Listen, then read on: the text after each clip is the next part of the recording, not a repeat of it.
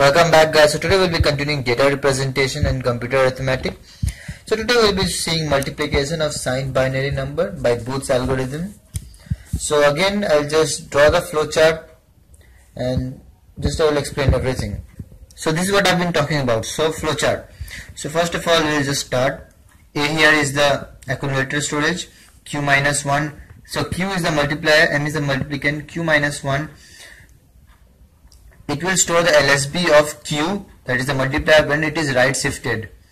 So A will store the higher order of n bits and Q will store the lower order of n bits of the product. So I will just explain everything with the help of an example so that will be very clear. So this is our example. So multiply minus 6 by 7 by Booth's algorithm. So here m is minus 6 which is 0 1 1 0 and just I will just do the 2's complement of it. So 1's complement of this will be now adding 1 we get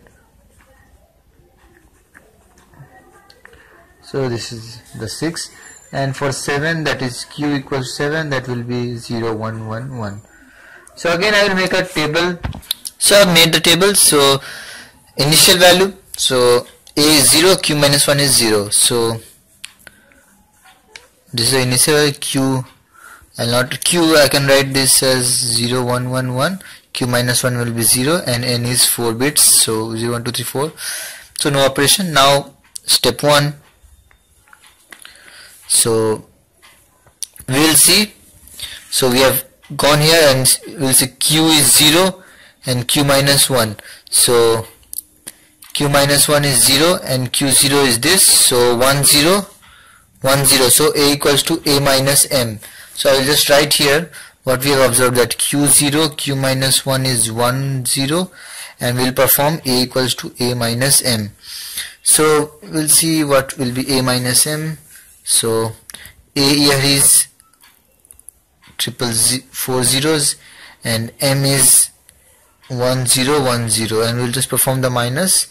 So it will be 0 this will be 1 1 and this will be 0 so this is by subtraction. So a will be 0 1 1 0 q will be 0 1 1 1 q minus 1 will be 0 and will be 4 now we have just done this step. Now we need to perform the arithmetic right shift in order a q q minus 1 right shift. So we need to move this side. So I'll just do the arithmetic right shift. So from 0 this will be 0 0 1 1 this 0 will come here 0 0 1 1 this will be 1 and n equals to n minus 1 so this will be 3 we'll write this arithmetic right shift a q q minus 1 n equals to n minus 1 now step 2 so again we will observe q0 q minus 1 so let us see what is q minus 1 q0 so 1 1 so arithmetic right shift directly ARS AQ Q minus 1 so arithmetic shift will give 0 0 0 1 and this will be 1 0 0 1 this will again be 1 and I'm directly writing that n equals to n minus 1 because we need to go there from there to there.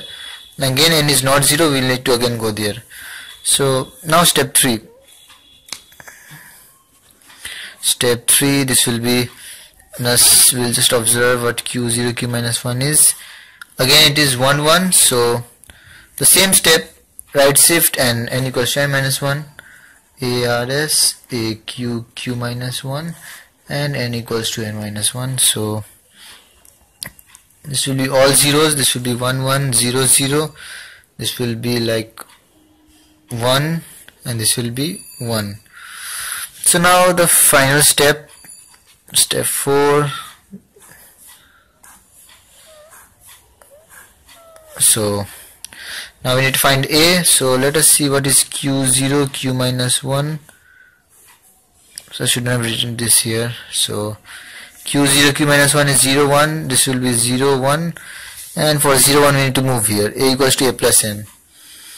A is our four zeros and m is 0 1 0 1 sorry.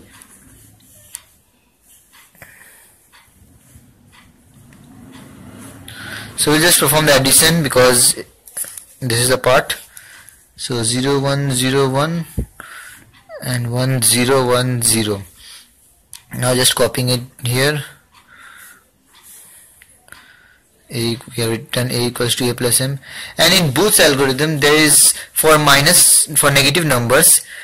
If we get 1 at the MSB of a we will not right shift it.